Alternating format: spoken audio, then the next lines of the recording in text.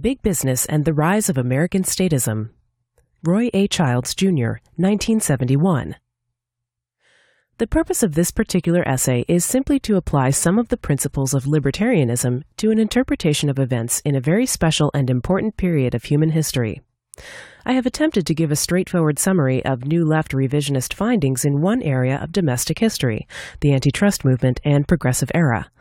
But I have done so not as a new leftist, not as a historian proper, but as a libertarian, that is, a social philosopher of a specific school. In doing this summary, I have two interrelated purposes.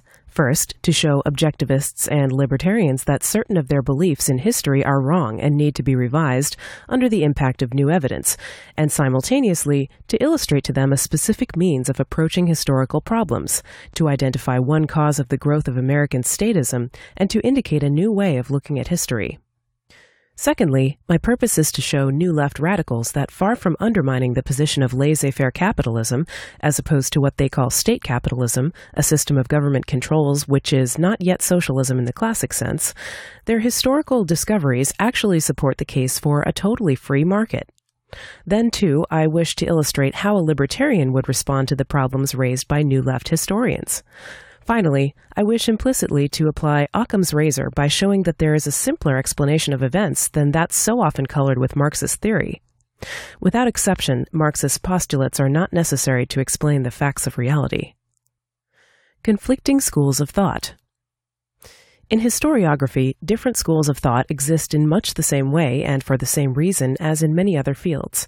And in history, as in those other fields, different interpretations, no matter how far removed from reality, tend to go on forever, oblivious to new evidence and theories. In his book, The Structure of Scientific Revolutions, Thomas Kuhn shows in the physical sciences how an existing paradigm of scientific explanation tends to ignore new evidence and theories, being overthrown only when a. the puzzles and problems generated by a false paradigm pile up to an increasingly obvious extent so that an ever wider range of material cannot be integrated into the paradigm, and an ever growing number of problems cannot be solved, and b. there arises on the scene a new paradigm to replace the old. In history, perhaps more than in most other fields, the criteria of truth have not been sufficiently developed, resulting in a greater number of schools of thought that tend to rise and fall in influence more because of political and cultural factors than because of epistemological factors. The result also has been that in history, there are a number of competing paradigms to explain different sets of events, all connected to specific political views. In this essay, I shall consider three of them the Marxist view, the conservative view, and the liberal view.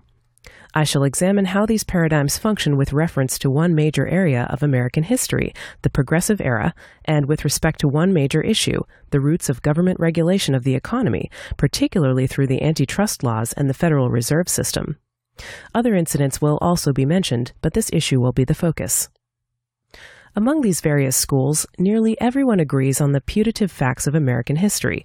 Disagreements arise over frameworks of interpretation and over evaluation. The Marxists, liberals, and conservatives all agree that in the economic history of America in the 19th century, the facts were roughly as follows. After mid century, industrialization proceeded apace in America as a consequence of the laissez faire policies pursued by the United States government, resulting in increased centralization and concentration of economic power. According to the liberal, in the 19th century, there was an individualistic social system in the United States, which, when left unchecked, led inevitably to the strong using the forces of a free market to smash and subdue the weak by building gigantic, monopolistic, industrial enterprises which dominated and controlled the life of the nation. Then, as this centralization proceeded to snowball, the public awoke to its impeding subjugation at the hands of these monopolistic businessmen. The public was stirred by the injustice of it all and demanded reform, whereupon altruistic and far seeing politicians moved quickly to mash the monopolists with antitrust laws and other regulations of the economy on behalf of the ever suffering little man who was saved thereby from certain doom. Thus did the American government squash the greedy monopolists and restore competition, equality of opportunity, and the like, which was perishing in the unregulated laissez faire free market economy. Thus did the American state act to save both freedom and capitalism. The Marxists also hold that there was in fact a trend towards centralization of the economy at the end of the last century, and that this was inherent in the nature of capitalism as an economic system. Some modern, more sophisticated Marxists maintained, on the contrary, that historically the state was always involved in the so-called capitalistic economy. Different Marxists see the movement towards state regulation of the economy in different ways. One group basically sees state regulation as a means of prolonging the collapse of the capitalistic system, a means which they see as inherently unstable. They see regulation as an attempt by the ruling class to deal with the inner contradictions of capitalism. Another group, more sophisticated, sees the movement towards state regulation as a means of hastening the cartelization and monopolization of the economy under the hands of the ruling class. The conservative holds, like the liberal, that there was indeed such a golden age of individualism when the economy was almost completely free of government controls. But far from being evil, such a society was near utopian in their eyes. But the government intervened and threw things out of kilter. The consequence was that the public began to clamor for regulation in order to rectify things that were either not injustices at all or were injustices imposed by initial state actions. The antitrust laws and other acts of state interference, by this view, were the result. But far from seeing the key large industrialists and bankers as monopolistic monsters, the conservatives defended them as heroic innovators who were the victims of misguided or power lusting progressives who used big businessmen as scapegoats and sacrifices on the altar of the public good. All three of the major schools of interpretation of this crucial era in American history hold two premises in common. A, that the trend in economic organization at the end of the 19th century was in fact towards growing centralization of economic power, and B, that this trend was an outcome of the processes of the free market. Only the Marxists, and then only a portion of them, take issue with the additional premise that the actions of state regulation were anti big business in motivation, purpose, and results. And both the conservatives and the liberals see a sharp break between the ideas and men involved in the progressive movement and those of key big business and financial leaders. Marxists disagree with many of these views, but hold the premise that the regulatory movement itself was an outgrowth of the capitalist economy. The Marxists, of course, smuggle in specifically non historical conclusions and premises based on their wider ideological frame of reference, the most prominent being the idea of necessity applied to historical events. Although there are many arguments and disputes between adherents of the various schools, none of the schools has disputed the fundamental historical premise that the dominant trend at the end of the last century was toward increasing centralization of the economy, or the fundamental economic premise that this alleged increase was the result of the operations of a laissez faire free market system. Yet there are certain flaws in all three interpretations, flaws that are both historical and theoretical, flaws that make any of the interpretations inadequate, necessitating a new explanation. Although it is not possible here to argue in depth against the three interpretations, brief reasons for their inadequacy can be given.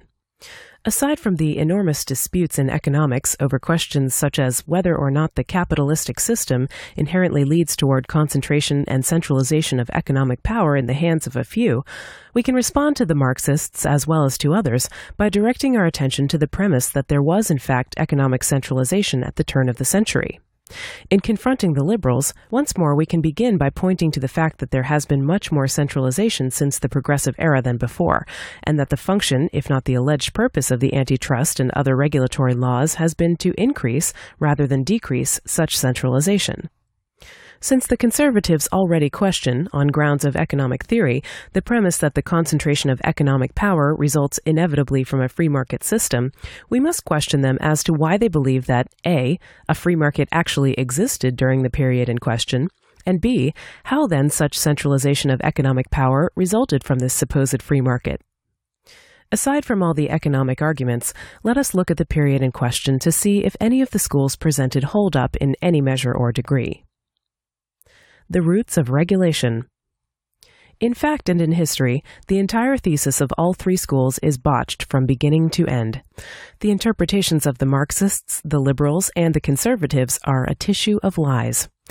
As Gabriel Kolko demonstrates in his masterly The Triumph of Conservatism and in Railroads and Regulation, the dominant trend in the last three decades of the 19th century and the first two of the 20th was not towards increasing centralization, but rather, despite the growing number of mergers and the growth in the overall size of many corporations, toward growing competition. Competition was unacceptable to many key business and financial leaders, and the merger movement was to a large extent a reflection of voluntary, unsuccessful business efforts to bring irresistible trends under control.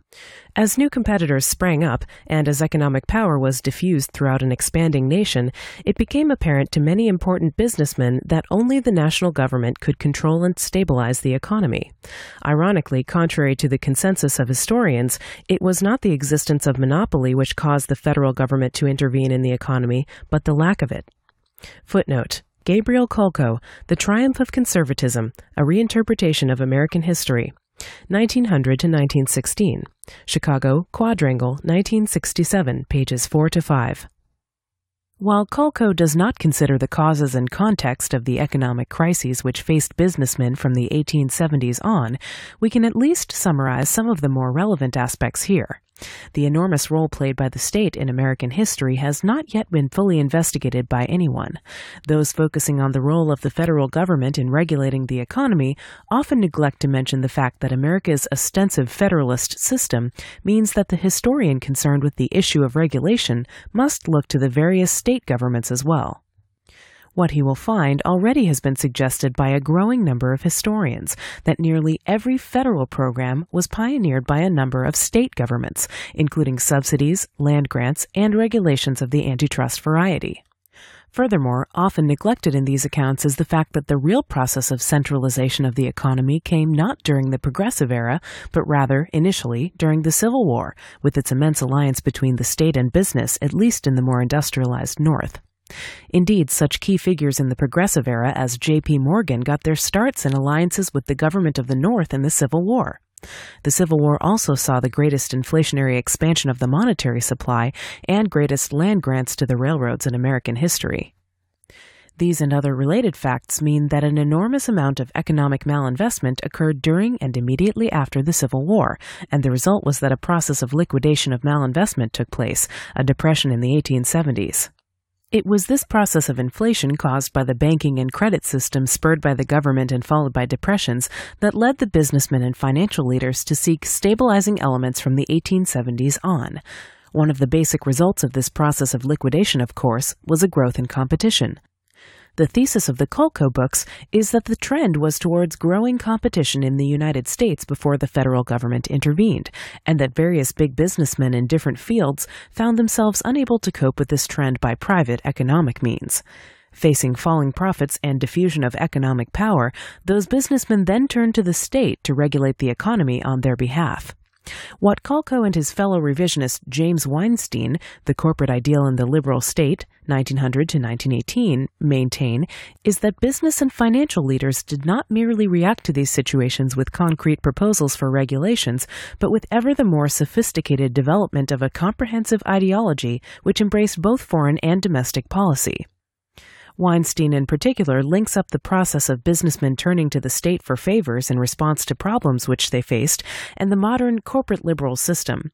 He maintains that the ideology now dominant in the U.S. had been worked out for the most part by the end of the First World War, not during the New Deal, as is commonly held, and that the ideal of a liberal corporate social order was developed consciously and purposefully by those who then, as now, enjoyed supremacy in the United States the more sophisticated leaders of America's largest corporations and financial institutions. Footnote James Weinstein, The Corporate Ideal in the Liberal State, 1900 to 1918, Boston, Beacon, 1968, Chapter 9. In examining this thesis, I shall focus predominantly on the activities of the National Civics Federation, a group of big businessmen that was the primary ideological force behind many reforms. Since the basic pattern of regulation was first established in the case of the railroads, a glance at this industry will set the basis for an examination of the others. American industry as a whole was intensely competitive in the period from 1875 on. Many industries, including the railroads, had overexpanded and were facing a squeeze on profits. American history contains the myth that the railroads faced practically no competition at all during this period, that freight rates constantly rose, pinching every last penny out of the shippers, especially the farmers, and bleeding them to death. Historian Kolko shows that Contrary to the common view, railroad freight rates, taken as a whole, declined almost continuously over the period from 1877 to 1916. And although consolidation of railroads proceeded apace, this phenomenon never affected the long term decline of rates or the ultimately competitive nature of much of the industry. In their desire to establish stability and control over rates and competition, the railroads often resorted to voluntary cooperative efforts. When these efforts failed, as they inevitably did, the railroad men turned to political solutions to stabilize their increasingly chaotic industry. They advocated measures designed to bring under control those railroads within their own ranks that refused to conform to voluntary compacts. From the beginning of the 20th century until at least the initiation of World War I, the railroad industry resorted primarily to political alternatives and gave up the abortive efforts to put its own house in order by relying on voluntary cooperation.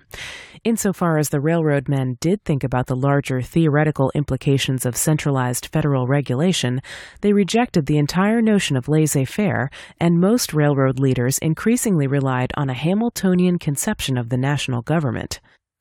Footnote Gabriel Kolko, Railroads and Regulation. Princeton, Princeton University Press, 1965, pages 3 to 5. The two major means used by competitors to cut into each other's markets were rate wars, price cutting, and rebates. The aim of business leaders was to stop these. Their major unsuccessful tool was the pool, which was continuously broken up by competitive factors. Footnote See both Kolko books for factual proof of this. Weinstein does not take this fact into account in his book, and thus underestimates this as a motivating force in the actions and beliefs of businessmen. For a theoretical explanation, see Murray N. Rothbard, Man, Economy, and State with Power and Market. Auburn, Alabama, Mises 2009, pages 636 to 661, Chapter 10, Section 2, Cartels and Their Consequences. The first serious pooling effort in the East, sponsored by the New York Central, had been tried as early as 1874 by Vanderbilt. The pool lasted for six months. In September 1876, a Southwestern Railroad Association was formed by seven major companies in an attempt to voluntarily enforce a pool. It didn't work and collapsed in early 1878. Soon it became obvious to most industrial leaders that the pooling system was ineffective. In 1876, the first significant federal regulatory bill was introduced into the House by J.R. Hopkins of Pittsburgh. Drawn up by the attorney for the Philadelphia and Reading Railroad, it died in committee. By 1879, there was a general unanimity among pool executives that without government sanctions, the railroads would never maintain or stabilize rates. Footnote Kolko, Railroads, page 26. By 1880, the railroads were in serious trouble. The main threat was identified as cutthroat competition. Far from pushing the economy toward greater centralization, economic forces indicated that centralization was inefficient and unstable. The push was towards decentralization, and smaller railroads often found themselves much less threatened by economic turns of events than the older, more established, and larger business concerns. Thus, the Marxist model finds itself seriously in jeopardy in this instance, for the smaller forms and railroads, throughout the crises of the 1870s and 1880s, often were found to be making larger profits on capital invested than the giant businesses.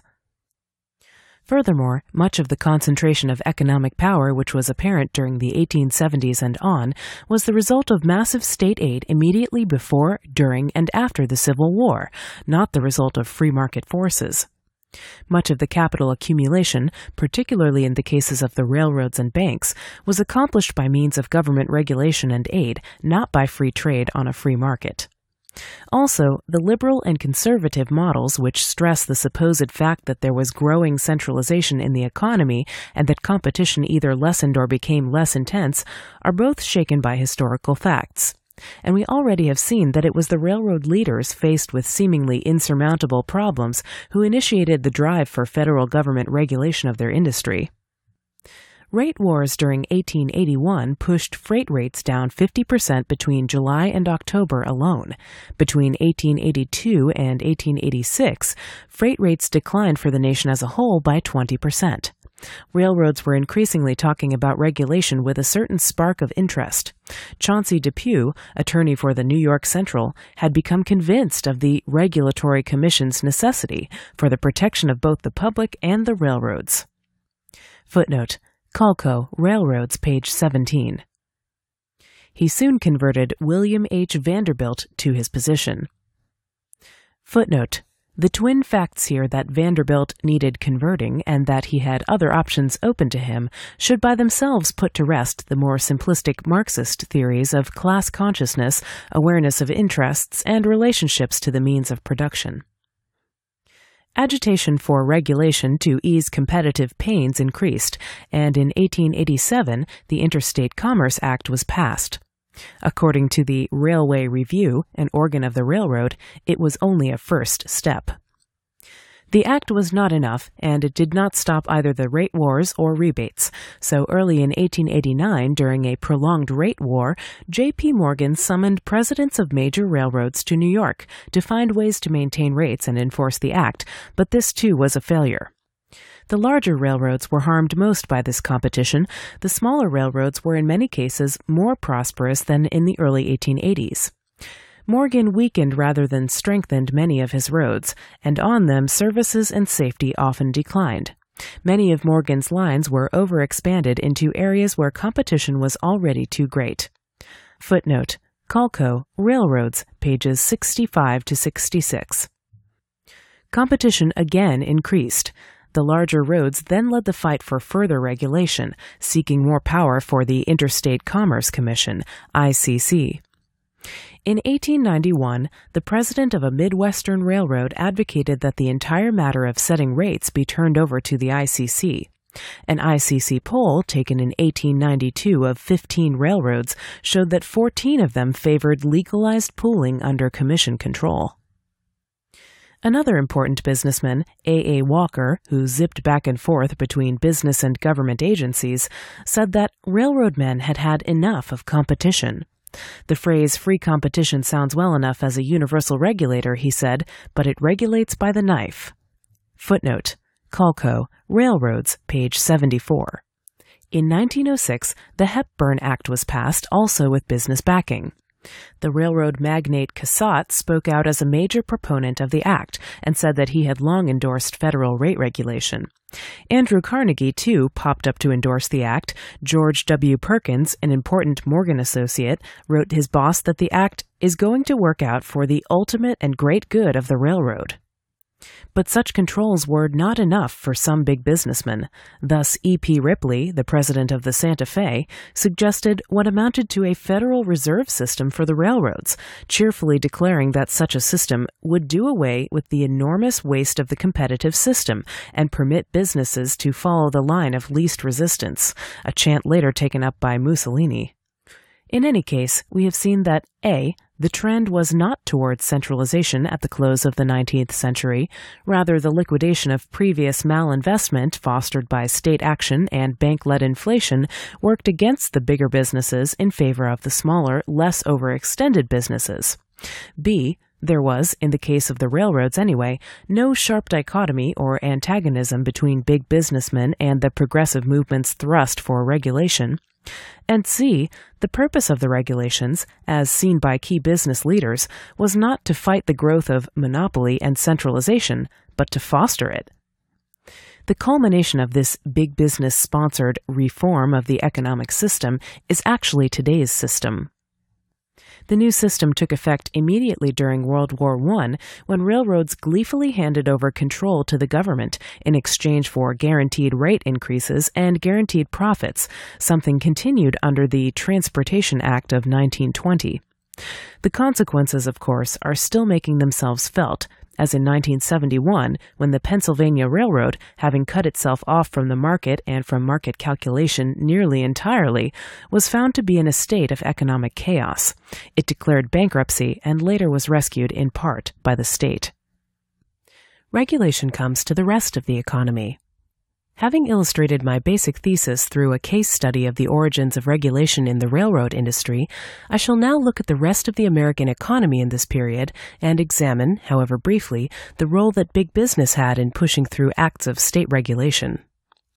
I should also mention, at least in passing, big businessmen not only had a particularly important effect in pushing through domestic regulation, but they fostered interventionism in foreign policy as well. What was common to both spheres was the fact that the acts of state intervention and monetary expansion by the state manipulated banking system had precipitated depressions and recessions from the 1870s through the 1890s. The common response of businessmen, particularly big businessmen, the leaders in various fields, was to promote further state regulation and aid as a solution to the problems caused by the depressions. In particular vogue at the time, in vogue today, as a matter of fact, was the notion that continued American prosperity required, as a necessary condition, expanded markets for American goods and manufactured items.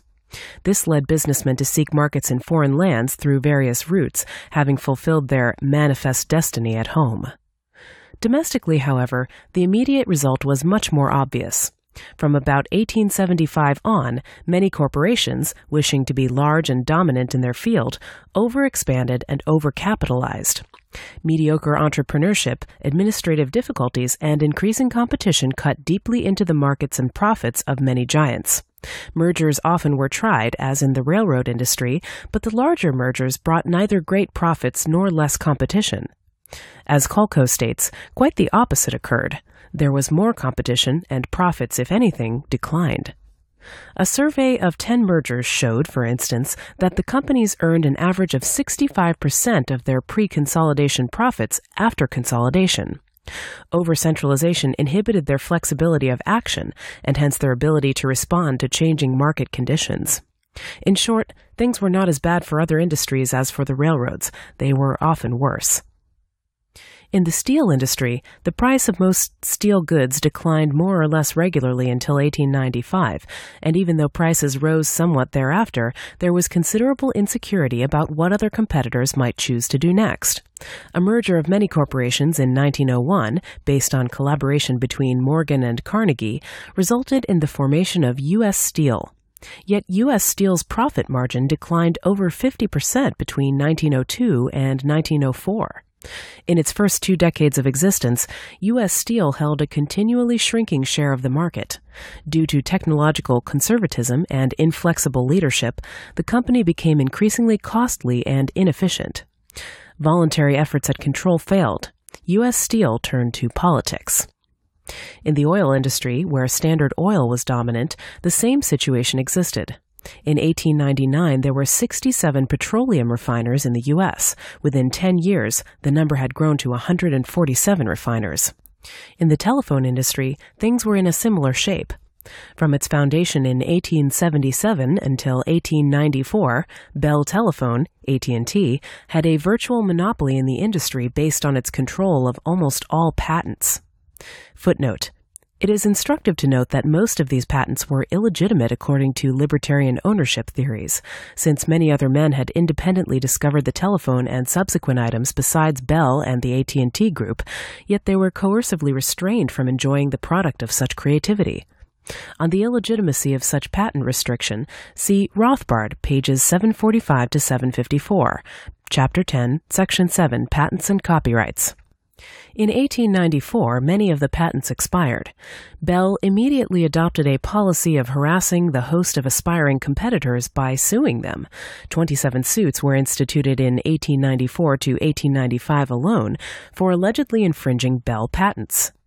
Footnote Kolko, Triumph, pages 30 to 39. But such efforts to stifle competition failed. By 1902, there were 9,100 independent telephone systems. By 1907, there were 22,000. Most had rates lower than AT&T. In the meatpacking industry, too, the large packers felt threatened by increasing competition. Their efforts at control failed. Similar diffusion of economic power was the case in other fields, such as banking, where the power of the Eastern financiers was being seriously eroded by Midwestern competitors. This, then, was the basic context of big business. These were the problems that it faced. How did it react? Almost unanimously, it turned to the power of the state to get what it could not get by voluntary means. Big business acted not only through concrete political pressure, but by engaging in large scale, long run ideological propaganda, or education, aimed at getting different sections of the American society united behind statism in principle and practice. Let us look at some of the activities of the major organizational tool of big business, the National Civics Federation. The NCF was actually a reincarnation of Hamiltonian views on the relation of the state to business. Primarily an organization of big businessmen, it pushed for the tactical and theoretical alliance of business and government, a primitive version of the modern business government partnership. Contrary to the consensus of many conservatives, it was not ideological innocence that led them to create a statist economic order. They knew what they were doing and constantly said so. The working partnership of business and government was the result of the conscious activities of organizations such as the NCF, created in 1900, coincident with the birth of what is called the Progressive Movement, to fight with increasing and sustained vigor against what it considered to be its twin enemies the socialists and radicals among workers and middle class reformers, and the anarchists among the businessmen, as the NCF characterized the National Association of Manufacturers. The smaller businessmen, who constituted the NAM, formed an opposition to the new liberalism that developed through cooperation between political leaders such as Theodore Roosevelt, William H. Taft, and Woodrow Wilson, and the financial and corporate leaders in the NCF and other similar organizations. The NCF, before World War I, was the most important single organization of the socially conscious big businessmen and their academic and political theorists. The NCF took the lead in educating the businessmen to the changing needs in political economy which accompanied the changing nature of America's business system. Footnote Weinstein, page 82. The early leaders of the NCF were such big business leaders as Marcus A. Hanna, utilities magnate Samuel B. Insull, Chicago banker Franklin MacVeagh, later Secretary of the Treasury, Charles Francis Adams, and several partners in J.P. Morgan and Company. The largest contributor to the group was Andrew Carnegie. Other important members of the executive committee included George W. Perkins, Elbert H. Gary, a Morgan associate and a head of U.S. Steel after Carnegie, Cyrus McCormick, Theodore N. Vail, president of AT&T, and George Cortelyou, head of Consolidated Gas the NCF sponsored legislation to promote the formation of public utilities, a special privilege monopoly granted by the state, reserving an area of production to one company. Issuing a report on public ownership of public utilities, the NCF established a general framework for regulatory laws, stating that utilities should be conducted by legalized independent commissions. Of such regulation, one businessman wrote another 25 years ago, we would have regarded it as a species of socialism. But seeing that the railroads were both submitting to and apparently profiting from regulation, the NCF's self appointed job of educating municipal utilities corporations became much easier. Regulation in general, far from coming against the wishes of the regulated interests, was openly welcomed by them in nearly every case. As Upton Sinclair said of the meat industry, which he is given credit for having tamed, the federal inspection of meat was historically established at the packers' request. It is maintained and paid for by the people of the United States for the benefit of the packers. Footnote Kolko, Triumph, page 103. However, one interesting fact comes in here to refute the Marxist theory further. For the Marxists hold that there are fundamentally two opposing interests which clash in history the capitalists and the workers. But what we have seen, essentially, is that the interests, using the word in a journalistic sense, of neither the capitalists nor the workers, so called, were uniform or clear cut. The interests of the larger capitalists seemed to coincide as they saw it and were clearly opposed to the interests of the smaller capitalists. However, there were conflicts among the big capitalists, such as between the Morgan and Rockefeller interests during the 1900s, as illustrated in the regimes of Roosevelt and Taft. The larger capitalists saw regulation as being in their interest and competition as opposed to it. With the smaller businessmen, the situation was reversed. The workers for the larger businesses also may have temporarily gained at the expense of others through slight wage increases caused by restrictions on production. The situation is made even more complicated when we remember that the Marxist belief is that one's relationship to the means of production determines one's interests and hence, apparently, one's ideas. Yet people with basically the same relationship often had different interests and ideas. If this in turn is explained by a Marxist in terms of mystification, an illuminating explanation in a libertarian context, then mystification itself is left to be explained. For if one's ideas and interests are an automatic function of the economic system and one's relationship to the means of production, how can mystification arise at all? In any case, congressional hearings during the administration of Theodore Roosevelt revealed that the big Chicago packers wanted more meat inspection both to bring the small packers under control and to aid them in their position in the export trade. Formally representing the large Chicago Packers, Thomas E. Wilson publicly announced, We are now and have always been in favor of the extension of the inspection. Footnote Kolko, Triumph, page 103. In both word and deed, American businessmen sought to replace the last remnants of laissez faire in the United States with government regulation for their own benefit. Speaking at Columbia University in February 1908, George W. Perkins, a Morgan associate, said that the corporation must welcome federal supervision administered by practical businessmen. Footnote Kolko, Triumph, page 129. As early as 1908, Andrew Carnegie and Ingalls had suggested to the NCF that it push for an American version of the British Board of Trade, which would have the power to judge mergers and other industrial actions.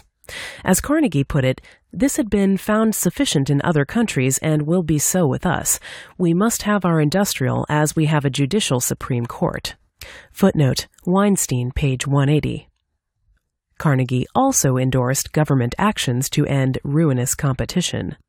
It always comes back to me that government control, and that alone, will properly solve the problem. There is nothing alarming in this. Capital is perfectly safe in the gas company, although it is under court control. So will all capital be, although under government control. Footnote Kolko, Triumph, page 180. AT&T, controlled by JP Morgan as of 1907, also sought regulation. The company got what it wanted in 1910 when telephones were placed under the jurisdiction of the ICC and rate wars became a thing of the past.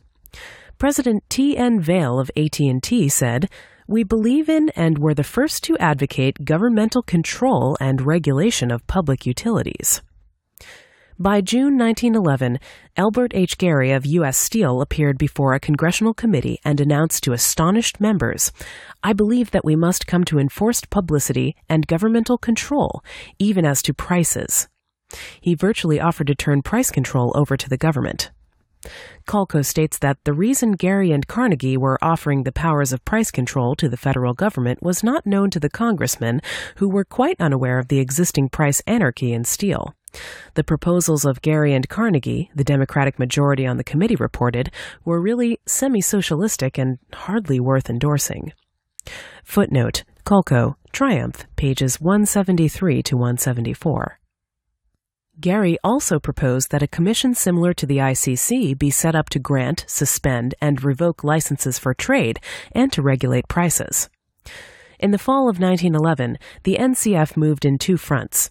It sent a questionnaire to 30,000 businessmen to seek out their positions on a number of issues. Businessmen favored regulation of trade by 3 to 1.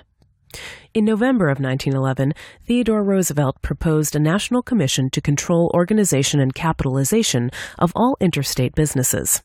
The proposal won an immediate and enthusiastic response from Wall Street. In 1912, Arthur Eddy, an eminent corporation lawyer working much of the time with Standard Oil and one of the architects of the FTC, stated boldly in his magnum opus, The New Competition, what had been implicit in the doctrines of businessmen all along. Eddy trumpeted that competition was inhuman and war, and that war was hell. Thus did big businessmen believe and act, Meanwhile, back at the bank, J.P. Morgan was not to be left out. For Morgan, because of his ownership or control of many major corporations, was in the fight for regulation from the earliest days onward. Morgan's financial power and reputation were largely the result of his operations with the American and European governments. His many dealings in currency manipulations and loans to oppressive European states earned him the reputation of a rescuer of governments. One crucial aspect of the banking system at the beginning of the 1900s was the relative decrease in New York's financial dominance and the rise of competitors. Morgan was fully aware of the diffusion of banking power that was taking place, and it disturbed him. Hence, bankers too turned to regulation. From very early days, Morgan had championed the cause of a central bank, of gaining control over the nation's credit through a board of lending bankers under government supervision. By 1907, the NCF had taken up the call for a more elastic currency and for greater centralization of banking. Nelson Aldrich proposed a Reform Bank Act and called a conference of 22 bankers from 12 cities to discuss it. The purpose of the conference was to discuss winning the banking community over to government control directed by the bankers for their own ends. A leading banker, Paul Warburg, stated that it would be a blessing to get these small banks out of the way. Footnote Kolko, Triumph, page 183. Most of his associates agreed. In 1913, two years after the conference, and after any squabbles over specifics, the Federal Reserve Act was passed. The big bankers were pleased. These were not the only areas in which businessmen and their political henchmen were active. Indeed, ideologically speaking, they were behind innumerable progressive actions and even financed such magazines as The New Republic. Teddy Roosevelt made a passing reference to the desirability of an income tax in his 1906 message to Congress, and the principle received support from such businessmen as George W. Perkins and Carnegie, who often referred to the unequal distribution of wealth as one of the crying evils of our day. Many businessmen opposed it, but the Wall Street Journal said it was certainly in favor of it.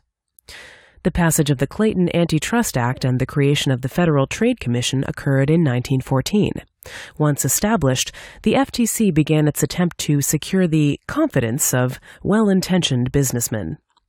In a speech before the NCF, one of the pro regulation powerhouses, J.W. Jenks, affirmed the general feeling of relief among the leaders of large corporations and their understanding that the FTC was helpful to the corporations in every way. Footnote Weinstein, page 91. In this crucially important era, I have focused on one point.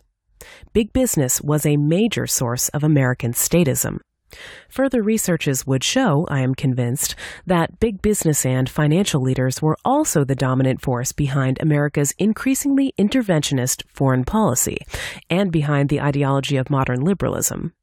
In fact, by this analysis, sustained research might show American liberal intellectuals to be the running dogs of big businessmen, to twist a Marxist phrase a little bit. Consider the fact that the New Republic has virtually always taken the role of defender of the corporate state, which big businessmen carefully constructed over decades. Consider the fact that such businessmen as Carnegie not only supported all the groups mentioned and the programs referred to, but also supported such things as the big Navy movement at the turn of the century. He sold steel to the United States government that went into the building of ships, and he saw in the Venezuela boundary dispute the possibility of a large order for armor from the United States Navy. Footnote Walter LaFeber, The New Empire, An Interpretation of American Expansion, 1860 to 1890.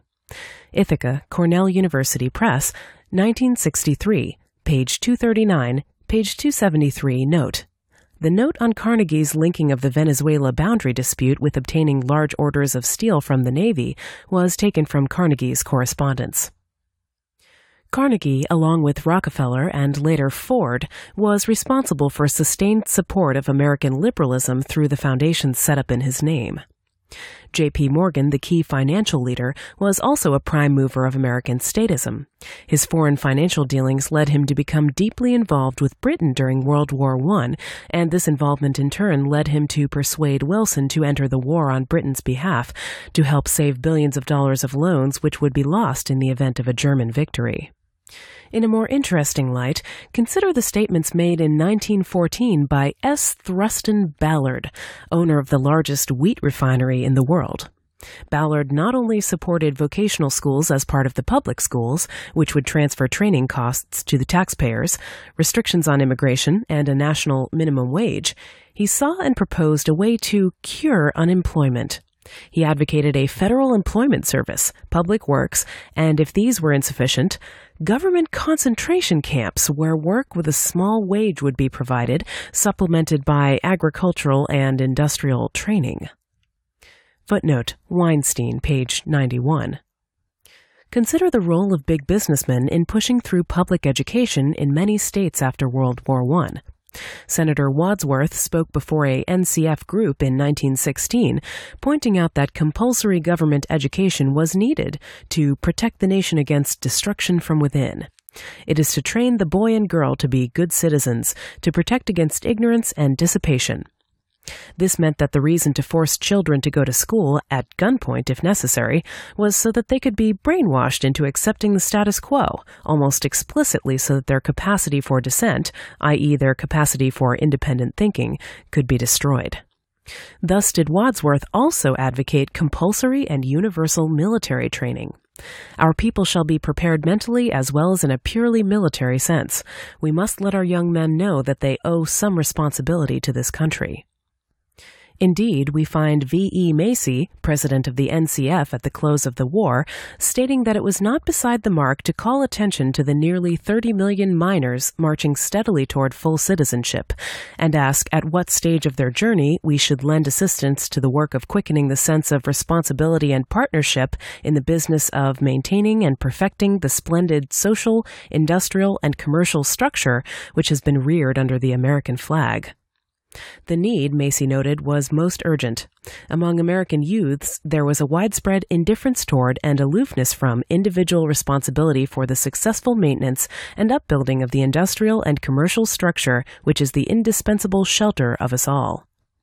Footnote Weinstein, pages 133 to 135. Big business, then, was behind the existence and curriculum of the public educational system, explicitly to teach young minds to submit and obey, to pay homage to the corporate liberal system which the politicians, a multitude of intellectuals, and many big businessmen created. My intention here simply has been to present an alternative model of historical interpretation of key events in this one crucial era of American history, an interpretation which is neither Marxist, liberal, nor conservative, but which may have some elements in common with each. From a more ideological perspective, my purpose has been to present an accurate portrait of one aspect of how we got here and indicate a new way of looking at the present system in America. To a large degree, it has been and remains big businessmen who are the fountainheads of American statism. If libertarians are seeking allies in their struggle for liberty, then I suggest that they look elsewhere.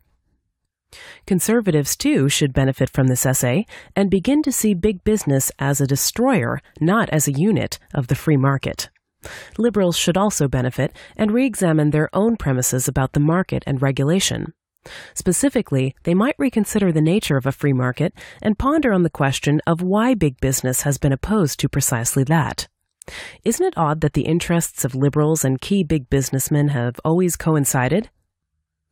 The Marxists, too, might rethink their economics and reconsider whether or not capitalism leads to monopoly. Since it can be shown scientifically that economic calculation is impossible in a purely socialistic economy, and that pure statism is not good for man, perhaps the Marxists might also look at the real nature of a complete free market undiluted by state control. Libertarians themselves should take heart. Our hope lies, as strange as it may seem, not with any remnants from an illusory golden age of individualism which never existed, but with tomorrow our day has not come and gone. It has never existed at all. It is our task to see that it will exist in the future. The choice and the battle are ours.